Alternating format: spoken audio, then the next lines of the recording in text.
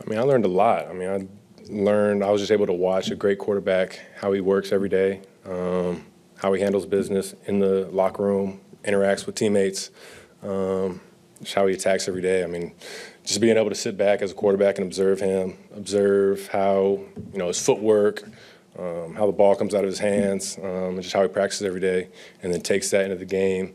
Um, I mean, there's it's just very valuable stuff that I was able to sit for three years and kind of just pick his brain on and just watch him work.